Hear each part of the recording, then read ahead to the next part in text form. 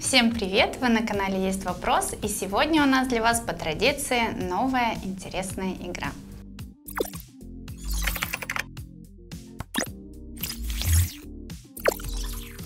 Что нам понадобится в этот раз для нашей игры? Нам понадобится лист картона, который мы вот вырежем вот таким определенным образом и сделаем из него две вот такие вот карточки. Что нам еще понадобится? Либо ватные диски, потому что они примерно такого же диаметра, как вот этот кружок, который у нас здесь есть. Либо мы просто вырезаем а, вот такого диаметра примерный кружок из бумаги и приклеиваем на картонку вот, а, получается, слева от меня. То есть делаем вот такую заготовочку. К чему эта заготовка? Что же это будет дальше? Сейчас я возьму в руки черный маркер, который нам тоже понадобится. И шнурок нам понадобится еще. Вот такой вот шнурок, это самое идеальное для а, этой игры, потому что я пробовала еще проволоку синельную, вот эту, которая называется еще махровая, волосатая проволока, которую используют для различных там мишура, вот такая блестящая на проволочке а, мишура, вот, а, но она очень хорошо держит форму, но не ложится абсолютно вот так же, как шнурок на картон, поэтому из э, всех э, материалов, которые я перепробовала, шнурок скорее самый идеальный.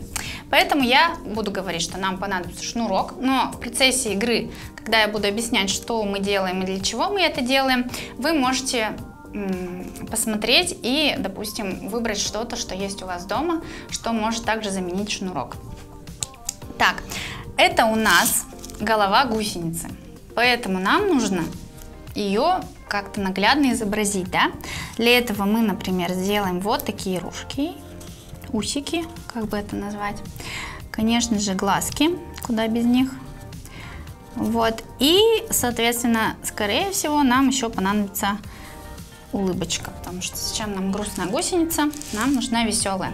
Ну и, соответственно, на другой гусенице мы делаем примерно то же самое, а, чтобы они у нас обе были веселые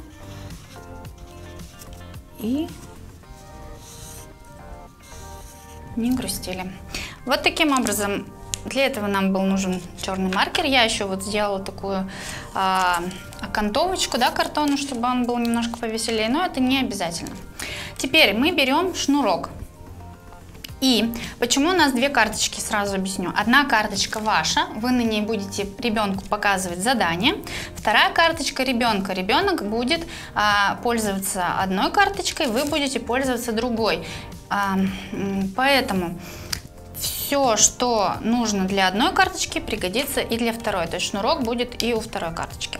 Шнурок я не приклеивала. Можно его приклеить под голову гусеницы, сразу закрепить.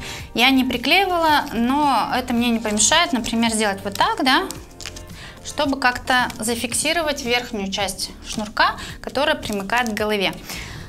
А вот этим кончиком да, шнурка мы с вами будем свободно варьировать. Для чего он нужен и что мы вообще будем с ним делать и какое задание будем давать ребенку. Здесь мы будем а, у ребенка развивать умение действовать по образцу в первую очередь, да, затем наглядное мышление, то есть он будет смотреть, анализировать и повторять за вами те действия, которые делаете вы, а точнее те изображения, которые изображаете вы. То есть шнурок нам нужен для того, чтобы изображать на карточке на нашей какие-либо фигуры. То есть мы ребенку говорим, сейчас гусеничка будет шевелить своим хвостом, а тебе нужно будет внимательно посмотреть, в какой позе она замрет и изобразить ту же самую позу на своей карточке. Например, мы делаем вот так, да, то есть мы показываем ребенку, что шнурок уходит вверх и делает вот такую вот петлю сверху, да. Ребенок должен проанализировать, что сделали мы, проанализировать, как выглядит в данный момент картинка, каким образом такая картинка да, получилась из шнурка, который был прямой, и попробовать сделать то же самое со своей карточкой. У нас получается примерно одно и то же. А, дальше, например, мы можем ребенку показать вот такую вот волну, да, ну, чуть-чуть усложнять какие-то фигуры. Здесь у нас две петли, ребенок повторяет за вами и делает примерно то же самое. Я думаю, что смысл игры понятен. Для начала можно ребенку, как всегда мы идем с вами от простого к сложному, показывать просто, чтобы он освоился, да, какие-то легкие фигуры. То есть изначально мы можем просто попросить вот так вот сделать, да. Вот так вот, вот у нас вот так на образце. Ребенок делает то же самое. Потом, например, мы просто хвостик а, вот петелькой, да, загнули. Потом вот мы делаем более сложные фигуры, можно изображать какие-то э, загигулины различного образа, различного плана, да, чтобы там, допустим, петли какие-то, кружочки, чтобы ребенку было сложнее и чтобы э, он уже пытался каким-то образом более внимательно, опять же, внимательность тут тоже развивается, следить за движениями ваших рук, чтобы потом справиться успешно с заданием. То есть вот таким образом мы действуем. Вы видите, да, что шнурок идеально ложится, он никуда не гнется, он не требует больших усилий, чтобы его загнуть и сложить в определенную позу. Поэтому я еще раз говорю, что шнурок подходит для этого задания, для этой игры идеально. Вот такая у нас веселая гусеница с большим потенциалом.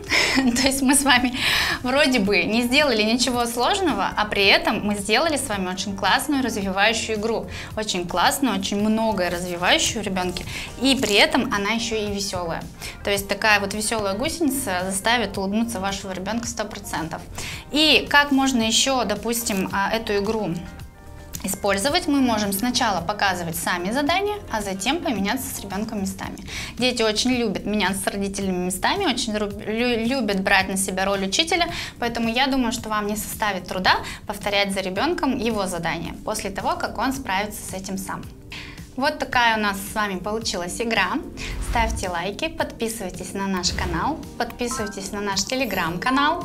А мы всегда очень рады вашим идеям а, в комментариях и различным модификациям наших игр, поэтому очень от вас этого ждем всегда. А на этом у меня сегодня все. Пока-пока.